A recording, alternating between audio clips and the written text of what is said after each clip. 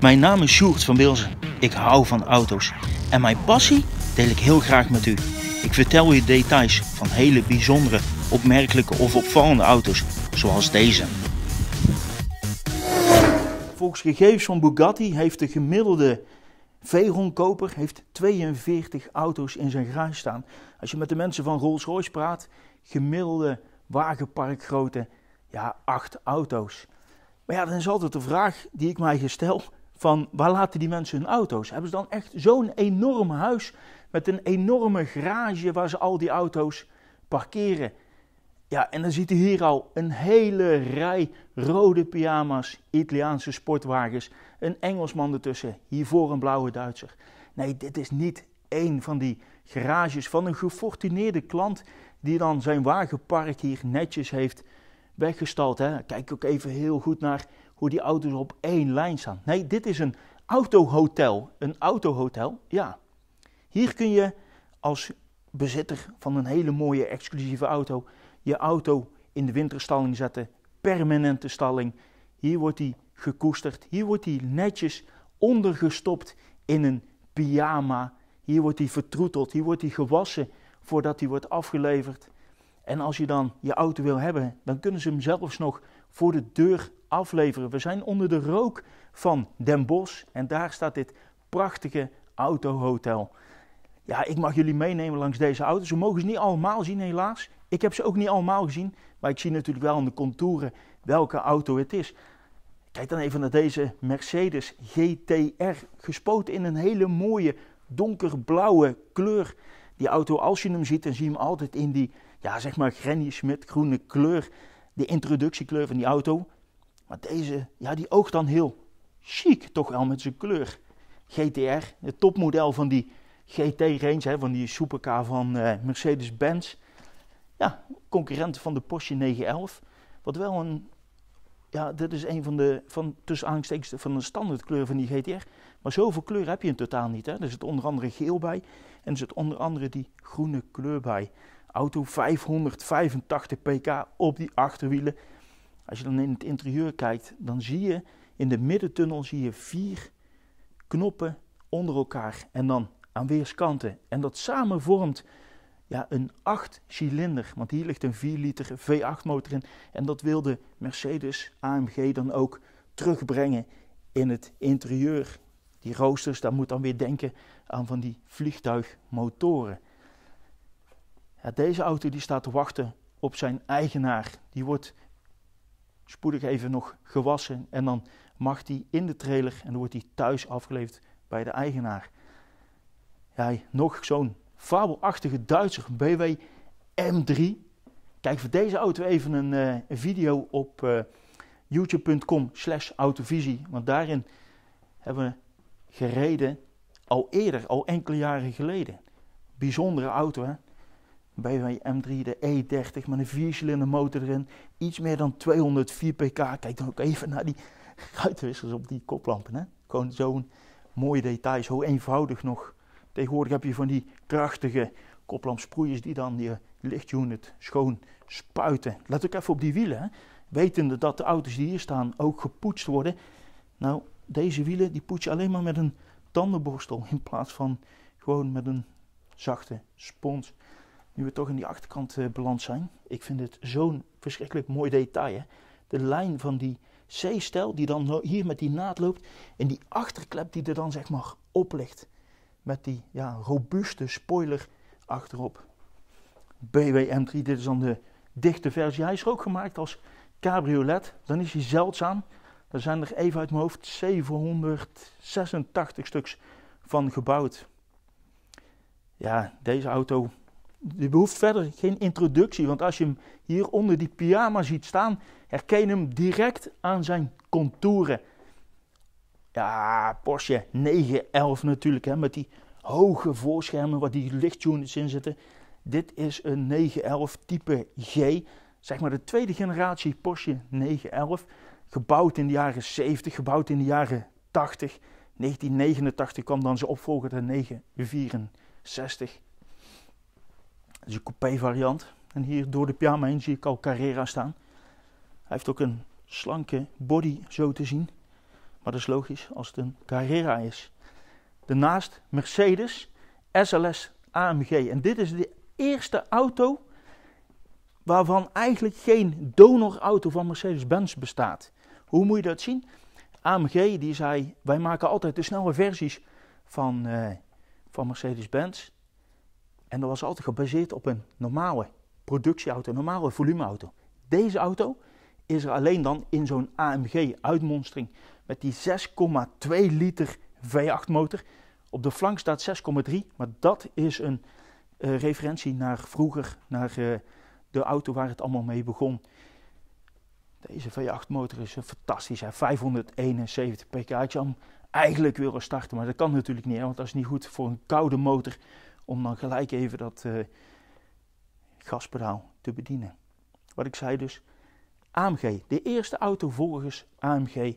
Maar weet u dat deze auto helemaal niet door AMG zelf is gebouwd?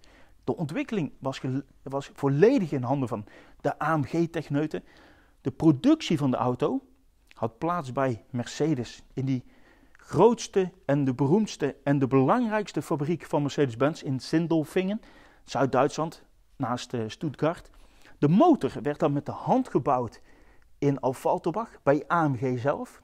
Staat ook de handtekening op van de persoon die de eindcontrole heeft gedaan. Sterker nog, die hem helemaal in zijn eentje heeft vervaardigd. En die carrosserieën, die kwamen van Magna Steyr uit Oostenrijk. En Magna Steyr, dat is een toeleverancier. Ze hebben heel kortstondig hebben ze ook de Aston Martin Rapide gebouwd. Zij doen ook uh, bijvoorbeeld de Formatic versies van de E-klasse enkele generaties terug. Ze hebben ook nu de productie van de Jaguar I-Pace uh, onder hun hoede genomen. Dit is dan die coupé-versie, dat zie je meteen. Deze heeft van die vleugeldeuren met die verzonken deurgrepen. Dus als de auto onder een bepaalde snelheid komt, komen die deurgrepen naar buiten. En natuurlijk als je hem ontgrendelt en dan kun je hem wegklikken. Kijk even voor Sjoerd's beetjes, voor dat uh, scharniersysteem wat hier bovenin zit. Dus die video van de SLS Black Series. Sowieso een hele gave versie. Dit is zeg maar het, uh, het instapmodel geweest van die SLS-familie. Want later verscheen er ook nog een GT 591 pk en er verscheen ook nog een roadster van. Van die auto's zijn er overigens 11.000 stuks geproduceerd. Ja, deze auto hier onder het doek, Ferrari F430. Met die luchthapper hier, kun je het dan zien. Dus overigens de Spider. Die heeft dan zeg maar dat vlakke kontje. En dan hier die softtop, volledig automatisch. Hier ligt dan die motor onder een glazen plaat. 4,3 liter V8 motor. Zelf ben ik helemaal uh, lyrisch van die Scuderia versie. Ferrari F355 Spider, softtop versie natuurlijk. Ook weer dezelfde kapconstructie als wat zijn opvolgers altijd hebben behouden. Dus zo'n 360 Spider, zo'n 458 uh, Spider heeft dan een inklapbaar hardtop. Maar de types daarvoor hadden altijd een softtop. En altijd met van die vinnen hier aan de achterzijde. Met die motorkap die dan zeg maar tot aan de achterstoelen doorliep. Hier met die roosters. Hè. Later bij de 360 Spider en bij de F430 Spider kreeg je hier die glasplaat waar je dan heel mooi die motor zag liggen. Maar ja, kijk, als je je auto hier in een autohotel zet, dan zet je gewoon de motorkap zet je open, je zet er een stoel naast en je gaat gewoon genieten van dat blok. Dus over zijn auto met een handgeschakelde transmissie. De 355 was de allereerste die die F1-bak kreeg. Deze auto heeft ook een airbag. De eerste Ferrari met een airbag en zo te zien heeft hij er twee. Zwart interieur. Je zit relatief ver naar voren, hè, omdat die motor achterin ligt. Klapkoplampen. Ook zo'n designstijltje, zo'n element uit de, uit jaren 80 en de jaren 90. En die 355 die is uh, geleverd, dit is dan de Spider. Je hebt ook nog een open variant. Kun je alleen het dakdeel hierboven kun je uitnemen. En dan heb je ook nog de coupé versie. Dit is wel een hele bijzondere. Ferrari 458 speciale. Hele bijzondere kleur. moet je eerlijk zeggen, ik moet er enorm aan wennen. Vooral als je aan de voorzijde staat. Hè? Dan denk je van, wow, heel apart, heel persoonlijk, echt uniek. En als je hem dan van drie kwart ziet, dan zie je die goudkleurige wielen. En dat, ja, hoe langer dat je er naar kijkt, hoe mooier dat die wordt, vind ik zelf. Die speciale, hè? De lichtgewicht versie van de 458 Italia. En die auto had ook nog eens een keertje meer vermogen. Het gewicht werd met 100 kilogram teruggebracht. Gewoon pure techniek erin. Vermogen van die V8 motor hier achterin 605 pk. Toen zat hij een beetje op dezelfde hoogte als een uh, zes uh, dingen, als een uh, MP412C en een Lamborghini Huracan. Mooi hè, dat carbon op dat blok hè. Deze auto heeft sowieso veel carbon op de buitenkant. Als je dan weet dat die, die sticker die hier... sorry, dit is geen sticker, dat zo wil ik zeggen. Dit is geen sticker, dit is gewoon gespoten. Optieprijs 8000 euro. Ja, dat had je natuurlijk ook met een sticker kunnen doen. Maar ja, zo'n auto, zo zie ik het tenminste, moet origineel zijn. Ik zou er zelf nooit aan gaan lopen, ja, versleutelen, noem maar op. Ook dat interieur met die harnasgordels. Mooie beige kleuren Alcantara afwerking van het interieur. Ook weer met carbon. Ja. Dit is een auto die, die stel je niet zomaar even 1, 2, 3 samen op de car configurator bij de Ferrari dealer. Deze auto moet je echt in het echt zien. Dan gaat die echt pas leven. Dit is, dit is een auto hè, die totaal niet voorspelbaar is. De meeste specialen zijn volgens mij gewoon Ferrari rood. En uh, deze is ja, uniek. Uniek in zijn soort. Sowieso is het een unieke auto. Door zijn karakter, door zijn productieaantallen. Ferrari die ik weet de productieaantallen niet van de, van de speciale, maar dat zijn er gewoon echt niet heel veel geweest. Al werden die speciale edities, er is natuurlijk een stamboom van, hè? die speciale edities die werden natuurlijk wel in volume steeds populairder. Dus die stamboom die, die start eigenlijk bij een Ferrari 360 Challenge Radale. Daarna komt die 430 Scuderia, 458 speciale en dan op basis van die huidige 488 GTB is er dan die fabelachtige pista die sinds, wat is het, augustus 2018 eh, wordt uitgeleverd. En van die auto is inmiddels ook een uh, open variant, zoals die er ook is van die 458 speciale. Nou, op de buitenspiegel zien we het al, FI30. Lijkt mij een, tussen aanstekers, gewone FI30, 490 pk uit die 4,3 liter V8 motor. Hmm. Deze uh, limited edition, de Ferrari 599 GTO. Een naam die door Ferrari twee keer eerder werd gebruikt. In de jaren 60 voor die legendarische peperdure Ferrari 250 GTO. Waarvan er 39 zijn gemaakt. Naam keerde in 1983 keerde die terug op de Ferrari 288 GTO. En die twee beide modellen, dat waren straatversies, gebouwd voor een racewagen. Maar dat geldt niet voor deze. Hier is geen raceversie van uitgebracht. Die O in Gran Turismo Omologato staat voor homologatiemodel. Maar deze auto is er alleen als limited edition. 599 stuks. Die naam 599 staat overigens voor de cilinderinhoud van die V12 motor die voorin ligt. 5999 cc. Vermogen 670 pk.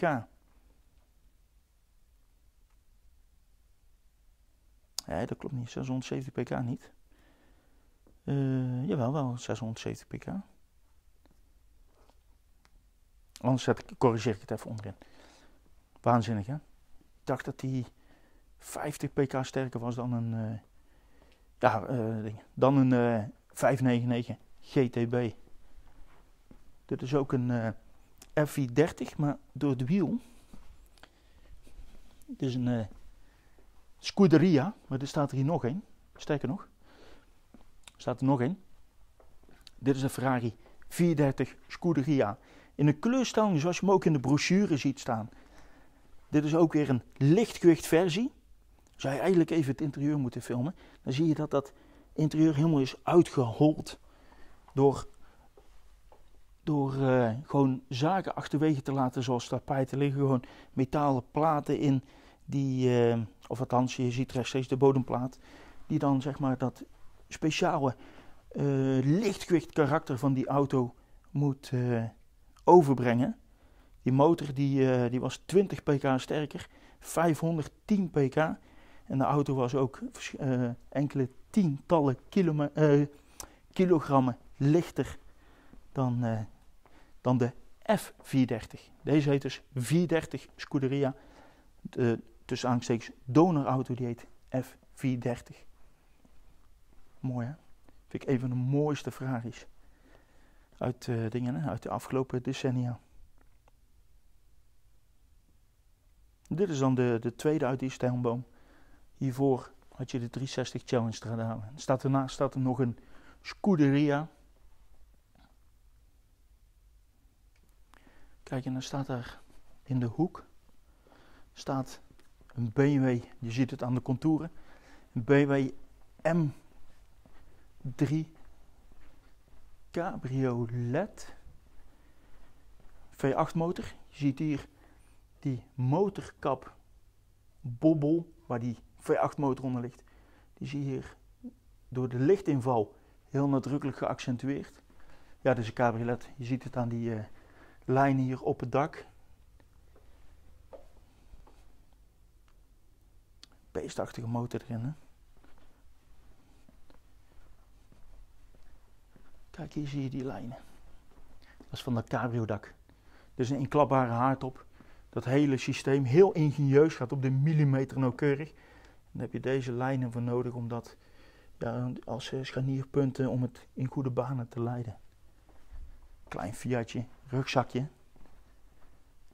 Mercedes. S-klasse. Dit is een W140. Bijnaam Dikke Bertha. Dit was een, ja, een lomp grote Mercedes. En in die tijd was hij eigenlijk door de kopersgroep, door de potentiële kopersgroep, als te groot en te lomp ervaren. Er kwam ook heel snel een modificatie op deze auto. Ze hadden heel snel een nieuw design getekend, in detail dan, om die auto wat kleiner te laten ogen. Ja, dit, helaas staat hij onder een uh, doek, onder een uh, pyjama Toyota Celica. Jaren uh, 80. Die heeft van die klapkoplampen hier met die zwarte lijn erop. Ja, daarnaast Maserati Ghibli. Oh, deze. Aston Martin Vanquish. Terwijl dat u nog naar de Toyota Celica kijkt. Maserati Ghibli. En dan krijgen we hier die Aston Martin Vanquish.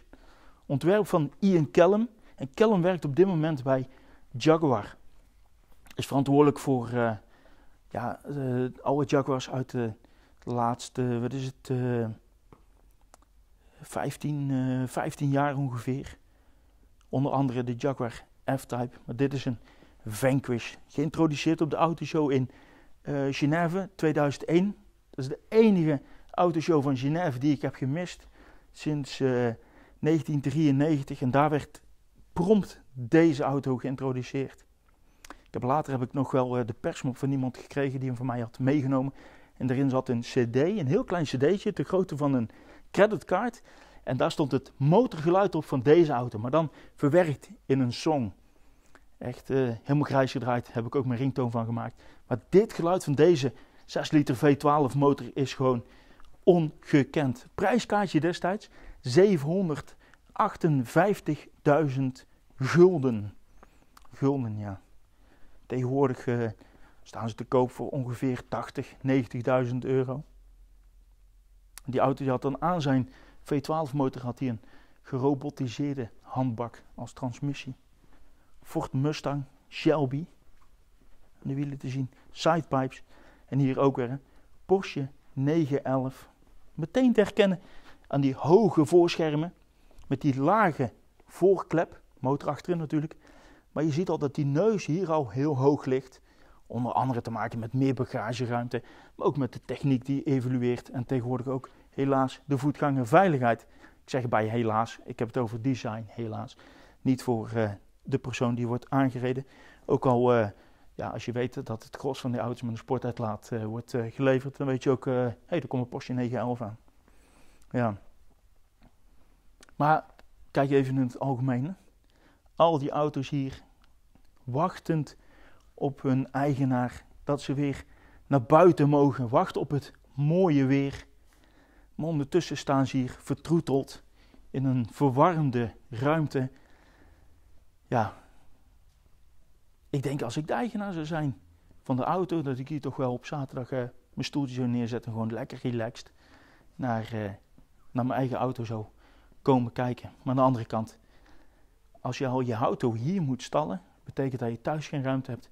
En waarom heb je thuis geen ruimte? Misschien omdat je daar al de rest van je collectie hebt staan.